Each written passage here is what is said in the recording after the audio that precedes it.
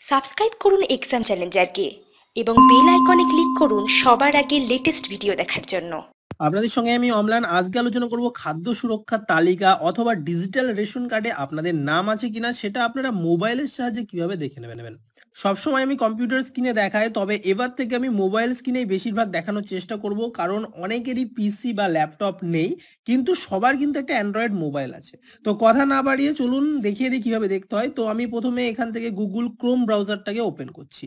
দেখুন, আমি একটা ওয়েবসাইটে চলে গেছি। ওয়েবসাইটের নাম হচ্ছে W BPDS dot gov dot in আপনাদেরও এই ওয়েবসাইটটাতে যেতে হবে। আর একবার বলে দিচ্ছি W BPDS dot gov dot in এই ওয়েবসাইটটাই আপনারা প্রথমে চলে যাবেন।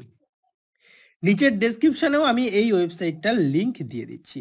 এবার আপনাকে যেটা করতে হবে ওয়েবসাইটটাই চলে গেলেই আপনারা এরকম দেখতে পাবেন আপনাদের মোবাইল স্ক্রিনে কম্পিউটার স্ক্রিনে খুললে সেটা ডেস্কটপ মুডে এখান থেকে করে নিতে পারেন। এখান থেকে ডেস্কটপ মুড যদি আপনারা সেট করে নেন, তাহলে কম্পিউটার স্ক্রিনে কেমন লাগবে সেটা দেখে নিতে পারেন।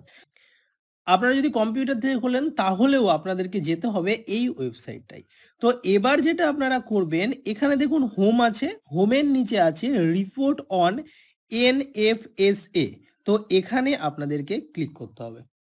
ক্লিক করার পরে দেখুন, এই যে প্রথম অপশানটা আছে, এখানে আপনারা চলে যাবেন ভিউ রেশন কার্ড কাউন্ট আবার আপনারা search beneficiary details by name এখানে গিয়েও কিন্তু আপনাদের নাম খুঁজে নিতে পারেন। তো আমি দুটো অপশনই এখানে দেখিয়ে দেবো। তো আমি প্রথমে সেকেন্ড অপশনটাই চলে যাচ্ছি search beneficiary details by name এখানে আপনারা ক্লিক করবেন ক্লিক করার সঙ্গে সঙ্গে এরকম একটা পেজ ওপেন হয়ে যাবে। অর্থাৎ এখানে দেখবেন your connection is not private flash S M S বা এরকম একটা এস এম এস আসবে। তো এবার এটাকে কীভাবে ফিক্স করতে হয় সেটাও আমি দেখিয়ে দিচ্ছি। আপনারা চলে যাবেন অ্যাডভান্সে অ্যাডভান্সে গিয়ে নিচে চলে আসবেন। কম্পিউটার বা মোবাইল স্ক্রিনের একই রকম সিস্টেম বা একই রকম ভাবে এই প্রবলেমটাকে ফিক্স করা হয়। তো এখানে দেখুন প্রসেস টু এখানে একটা আনসেভ বলে একটা অপশন আছে, তো এটার উপরে ক্লিক করবেন। ক্লিক করার সঙ্গে সঙ্গে আপনারা দেখবেন পেজটা খুলে যাবে। এবার দেখুন, এই যে ডিস্ট্রিক্ট আছে, এই ডিস্ট্রিক্টটাকে প্রথমে আপনারা সেট করে দেবেন। তো আমার হচ্ছে নদিয়া ডিস্ট্রিক্ট আমি নদিয়া ডিস্ট্রিক্ট দিয়েই সেট করছি। তো এখানে নদিয়া ডিস্ট্রিক্টটাকে আমি সেট করে দিলাম। এবার দেখুন ব্লক বা মিউনিসিপ্যালিটি আপনার যদি মিউনিসিপ্যালিটি হয়, তাহলে মিউনিসিপ্যালিটি সেট করে দেবেন এবং আপনার যদি ব্লক হয়, তাহলে ব্লক সেট করে দেবেন। এখানে দেখুন এম যেগুলোর পাশে লেখা আছে সেগুলো হচ্ছে মিউনিসিপ্যালিটি বাদ বাকিগুলো হচ্ছে ব্লক তো আমি এখানে যে কোনো একটা ব্লক আপনাদের বোঝানোর জন্য জাস্ট সেট করে দিচ্ছি। ধরুন আমি এখানে সেট করে দিলাম যে কোনো একটা ব্লক আমি এখানে সেট করে দিচ্ছি। ধরুন চাপড়া, এই ব্লকটাকে আমি সেট করে দিলাম। এবার আপনাদের যে ব্লকটা বা যে মিউনিসিপ্যালিটি আপনারা শুধুমাত্র সেটাই সেট করবেন। এবার দেখুন জিপি বা ওয়ার্ড আপনাদের যাদের যাদের গ্রাম পঞ্চায়েত তারা তারা জিপি অর্থাৎ গ্রাম পঞ্চায়েত সেট করে দেবেন এবং যাদের যাদের ওয়ার্ড আছে ওয়ার্ডটা এখানে আসবে না। যেহেতু আমি এখানে ব্লক সেট করেছি, সেহেতু এখানে ওয়ার্ডের নাম আসবে না। যখন আপনারা মিউনিসিপ্যালিটির নাম সেট করবেন, তখন এখানে ওয়ার্ডের নামটা চলে আসবে। এবার আপনাদের যে ওয়ার্ড বা যে গ্রাম পঞ্চায়েত, সেটার নাম এখানে সেট করে দিতে হবে। ধরুন আমি এখানে একটা সেট করে দিলাম।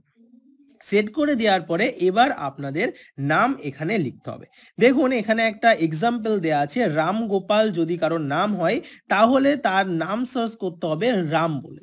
তো আমি এখানে একটা নাম সার্চ করছি, এখানে আমি একটা নাম লিখে দিলাম, দিয়ে এখানে সার্চ করছি। এখানে একটু টাইম লাগবে গভর্নমেন্টের সার্ভিস আপনারা বুঝতেই পারছেন সার্ভারটা একটু স্লো হয়।